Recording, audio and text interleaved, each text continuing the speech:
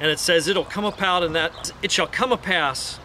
At that point, the water usage, Israel has discovered that over 80% of the water usage, and because of that, and because of evaporation, the Dead Sea has cars driving by all the time.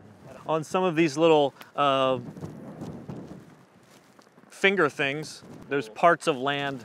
And so the prophecy that we're looking at today is Isaiah 9:11, which I didn't have ready. So here I am at the wilds of Engedi, where King David used to hid. He done hid around here.